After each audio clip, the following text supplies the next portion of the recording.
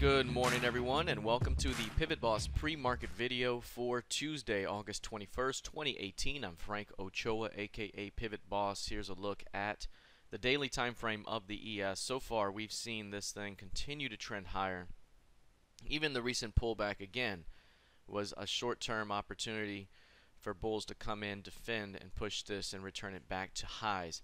As we noted before, as the market started to show initial signs of weakness up above the previous month's high, we noted that this could be a short-term pullback, but to take whatever the market gives you because this thing can turn right back around and return to highs. And that's what's happened here over the last couple of weeks. Nice little pullback, nice continuation. It doesn't mean we're going to drive through the highs by any means. We're in a trading range here. Yes, we could push a little bit higher and then come right back on down as this thing continues to trade sideways a little bit. Uh, but overall, again, as I continue to mention, we're not at a zone that's very favorable for, for bulls here. Uh, we're nearing the highs of the year. Uh, there's been a lot of selling pressure above 2850 overall. And if there's any failure to establish acceptance here, there's some room to run to the downside. Two downside levels, 2790 and 2700 could be easy downside targets.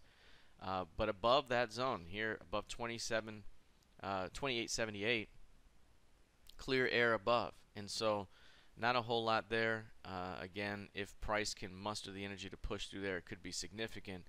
But remember, this large range here was designed to keep prices within that range.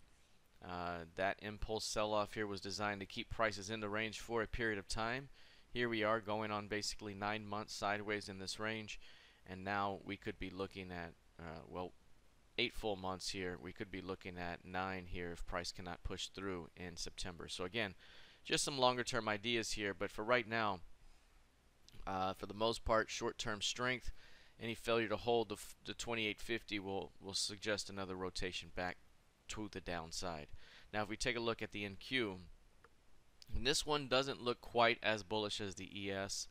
This one has kind of held back a little bit and is forming kind of a flag. If you want to go old school pattern here, a little flag that can tend to lead to a move like this. Overall, this pattern is compressing significantly, uh, but we haven't really found great direction other than just things trending up to the, for the most part. We have a great channel that's intact, and at some point we may see this thing break to the upside and go for the upper end of the channel. So again, 7440 may be that pivot there that can open up some upside. At some point here, we may see a stop run day in effect. And again, that will be above recent highs. 7440 would really get this thing going. So we could be looking at a nice push higher. Any uh, pullback to 7200, likely an opportunity for bulls to defend yet again let's take a look at crude oil.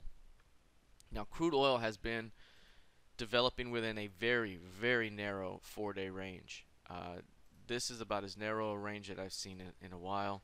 If we drop this down to four here, you'll actually see what how it's quantified on the indicator down here. Very, very narrow, 1.33 points over four-day period. It's been averaging 3.27 points in this market, but over here when there was more volatility it had been averaging five bucks on a four day basis. So right now to average or to be at what dollar 33 very tiny. You can look at it on here. Just nothing comes close all year long except for maybe this zone right here. And that was right before we had a major expansive breakout move. So again the point is we could be looking at significant breakout day here pretty soon. Uh, we got to continue to be patient but uh, any breakout could lead to a major stop run day that day, and it could also uh, impact the, the overall direction of this move. I think we still have some downside that could be seen. 66.30 is the key level. Above that level opens up a return back towards 70. But again, this market has been very reluctant to go higher. It, the easy money has been to the downside. So if we break to the upside, I'd be watching for signs of rejection at 66.30 that could lead to a major push downward towards 63, maybe even into the 62s. All right, let's take a look now at gold futures here. Gold is pulling back. Now this one has been sold off significantly. I mean, it's just been very, very bearish. Here recently, we had a very significant rejection day. Uh, it closed a little more, uh, a little less bullish than I would have liked, but it still has continued higher. It's hit the 1200 1204 zone from below, and that is the major zone right there that will dictate whether we continue lower or higher.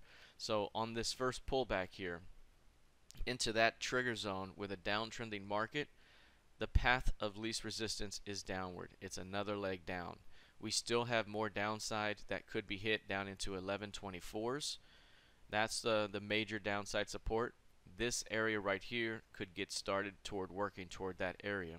Now, I also mentioned to our trading room, this is also where the change of bias occurs. So say this thing were to drop down, fail off of 1180, that could lead to a squeeze back above that pivot high, back above 1204s, and that could open up 1240 and perhaps even higher. So right now, 1204, 1200, the key level to watch. Path of least resistance is selling to the downside. If that move fails, that's where the stops would come out. We can get a nice move up. So right now, still trending lower is gold. Very significant bearish trend. Has not stopped yet. Will it stop now? Not very confident at the moment, but we'll see if uh, if this thing can can turn it around. Now taking a look lastly at Bitcoin, we talked about how significant the compression has been on this one. Every time it compresses, it's right before it gets a major stop run day. Not always to the upside, but again, this one's showing signs that it could be to the upside. The one day move below 6K was bought yet again. Here's the compression, very significant. You can see a stop run day here yes or today down and then back up, so that makes it a failed new low that's in play. That could be the day that signals this type of move. We could be maybe a day or two away from perhaps a breakout attempt, and that could push us much, much higher over the course of the next two weeks, somewhere between 8K and 8,200. I wouldn't really overshoot that too far. Again, this market has been forming lower and lower highs, so very, very tightly compressed action. This one could be on the verge of a breakout. Above 6,600 could open up uh, especially 6700, but 6600 could be the early entry for continuation toward 8K to 8200. All right, that is it for now. Let's see how this plays out heading into the rest of the session. Good luck and trade well.